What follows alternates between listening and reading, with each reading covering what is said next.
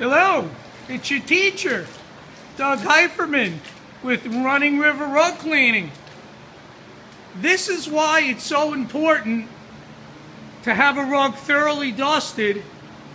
And we use the Rug Badger here. And this is what came out of one half of this 9 by 12 woven Chinese rug after it was dusted. This is what damages the foundation of the carpet yarns is all this abrasive material and sand-like particles cut the fiber. And that's why it's so important, even for washing, to get this all out of the rug on the dry side. You don't want to wet that. So in other words, this is unbelievable. This is just from one half of the rug.